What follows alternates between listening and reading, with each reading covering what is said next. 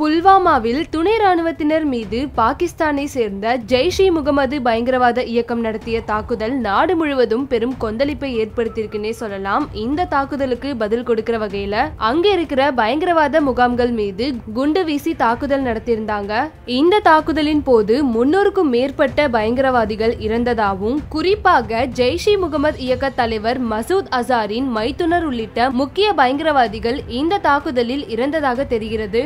இந்த ஜெய்ஷ் இ முகமது அமைப்பினுடைய தலைவரான மசூத் அசார் ஆயிரத்தி தொள்ளாயிரத்தி அறுபத்தி எட்டாம் ஆண்டு பாகிஸ்தானில் உள்ள பகவல்பூர் பகுதியில் பிறந்தவரனும் ஹர்குத் அல் அன்சர் அப்படின்ற பயங்கரவாத அமைப்போட தன்னை தொடர்பு ஏற்படுத்தி கொண்டு அந்த அமைப்பினோட ஒரு பிரிவுக்கு தலைவராகவும் ஆகியிருக்காரு.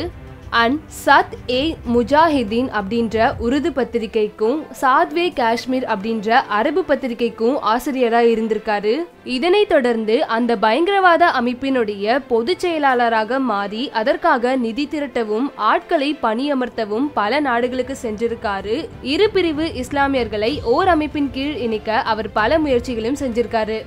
ஆயிரத்தி தொள்ளாயிரத்தி தொண்ணூற்றி நான்காம் ஆண்டு ஹர்குத் அல் ஹன்சர் அமைப்பில் நிலவிய கோஷ்டி மோதலை தீர்த்து வைப்பதற்காக காஷ்மீர் மாநிலத்தில் உள்ள ஸ்ரீநகருக்கு வந்த மசூத் அசார் ஆயிரத்தி தொள்ளாயிரத்தி தொண்ணூத்தி ஐந்தாம் ஆண்டு இந்திய அரசால் கைது செய்யப்பட்டார். ஆயிரத்தி தொள்ளாயிரத்தி தொண்ணூற்றி ஒன்பதாம் ஆண்டு இந்தியன் ஏர்லைன்ஸ் விமானம் கடத்தப்பட்ட போது இந்திய அரசால் அவர் விடுவிக்கப்பட்டார். இரண்டாயிரத்தி ஓராம் ஆண்டு ஜெய்ஷ் இ முகமது அமைப்பின் மூலம் நாடாளுமன்றத்தின் மீது தாக்குதல் நடத்தப்பட்டது. இதையடுத்து வீட்டுச் சிறையில் வைக்கப்பட்ட மசூத் அசார் இரண்டாயிரத்தி இரண்டாம் ஆண்டு பாகிஸ்தான் அரசால் விடுவிக்கப்பட்டார். மேலும் இரண்டாயிரத்தி எட்டாம் ஆண்டு மும்பையில் நடந்த தீவிரவாத தாக்குதலின் போது மசூத் அசார் கைது செய்யப்பட்டதாகவும் இந்த தகவலை பாகிஸ்தான் அரசு மறுத்ததாகவும் தெரிய வருகிறது. அண்ட் இப்போ புல்வாமா தாக்குதலுக்கு பிறகு இந்த நிலையில் பாகிஸ்தானை தலைமையிடமாக கொண்டு செயல்பட்டு வரும் ஜெய்ஷ் இ முகமது அமைப்பின் தலைவர் மசூத் அசாரை ஐநாவின் கருப்பு பட்டியலில் வைக்க உத்தரவிட வேண்டும் என்று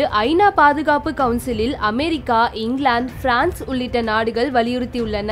அண்ட் இதற்கு முன்னர் இரண்டு முறை இதற்கான தீர்மானம் தாக்கல் செய்யப்பட்ட போது சீனா தனது வீட்டோ அதிகாரம் மூலம் இதனை தடுத்துள்ளது எனவும் ஆனால் இந்த முறை சர்வதேச அழுத்தம் காரணமாக சீனா இந்த செயலை தடுக்காது எனவும் கூறப்படுகிறது.